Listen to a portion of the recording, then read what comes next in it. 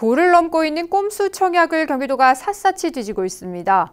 지난 4월 전국 최초로 부동산 불법행위 전담 수사팀을 설치했는데요. 3개월가량의 수사 결과를 오늘 발표했습니다. 가짜 임신 진단서에 위장 결혼을 한 브로커까지 상상을 초월합니다. 제도를 악용해 온갖 천태만상이 벌어지고 있는 건데요.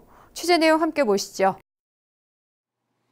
부동산 투기 브로커 A씨는 채팅 앱에 글을 올려 신혼부부와 임신부를 모집한 후 이들을 통해 청약 서류를 꾸몄습니다.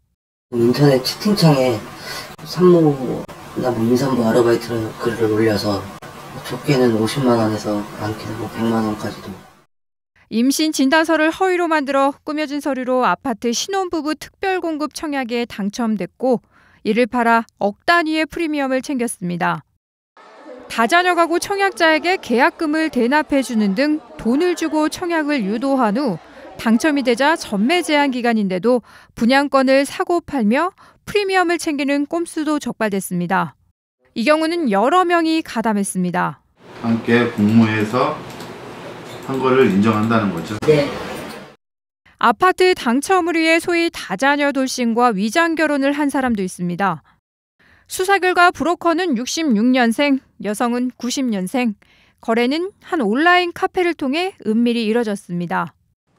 지난 4월 경기도는 부동산 불법행위 전담 수사팀을 꾸렸습니다. 이번 수사는 신혼부부와 다자녀 특별공급 청약 당첨자에 집중했습니다. 전수조사였고 수원 모 아파트 등 3개 분양사의 청약 서류에 적법 당, 당첨 여부를 수사하였으며 분양권 불법 전매에 대한 첩보 사항에 있어서 강제 수사하였습니다.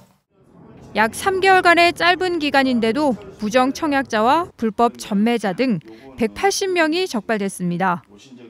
이 가운데 범죄 사실이 확인된 33명 중 9명은 검찰에 송치됐고 24명은 송치 예정입니다. 나머지 147명에 대해서도 조속히 수사를 마무리해 모두 검찰에 송치할 방침입니다. 또 이번 수사에 이어 장애인 등 아파트 특별공급 대상을 이용한 불법 청약자와 토지거래 허가구역 내 부정 허가자 등 수사 범위를 더 확대하고 있습니다.